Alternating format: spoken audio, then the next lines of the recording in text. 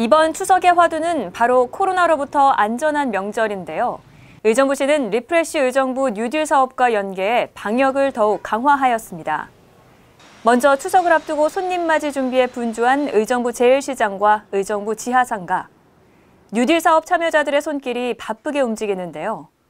매일 아침 골목은 물론 사람들의 손이 닿는 손잡이, 의자 등 구석구석 꼼꼼하게 소독합니다. 평소 시민들이 자주 드나드는 각동 주민센터에서는 민원실 입구마다 방문객을 대상으로 온도 체크를 실시하고 호원일동에서는 버스 정류장에서 오르내리는 승객들을 대상으로 온도 체크를 실시합니다. 이 밖에도 뉴딜 사업의 효과는 도시 곳곳에서 나타나는데요. 그린 뉴딜의 일환으로 거리 청소, 시설물 상태 점검 등 의정부시 시가지가 한층 더 밝아졌습니다. 또한 의정부시는 코로나19가 장기화됨에 따라 소풍길, 트레킹 등 야외에서 즐길 수 있는 언택트, 비대면 휴양에 대한 수요가 증가하는 데 초점을 맞춰 그린시티 의정부, 행복한 숲길 만들기 프로젝트를 진행 중인데요.